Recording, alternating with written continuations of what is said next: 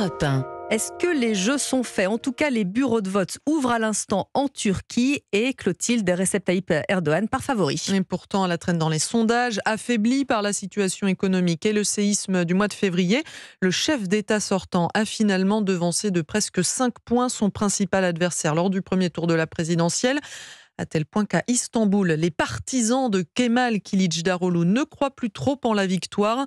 Reportage de l'envoyé spécial d'Europe 1, Caroline Baudry, sur le célèbre pont de Galata.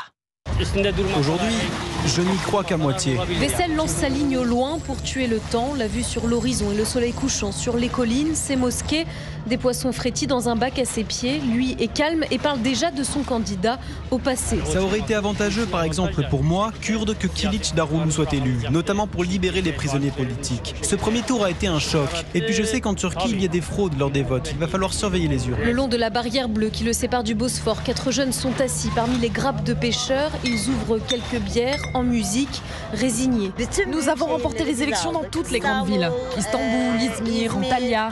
Mais nous n'avons pas réussi à convaincre les campagnes et l'Est du pays.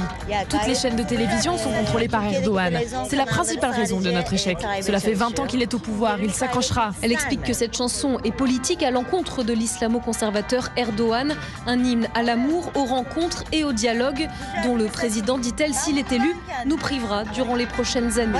Istanbul, Caroline Baudry, Europe 1.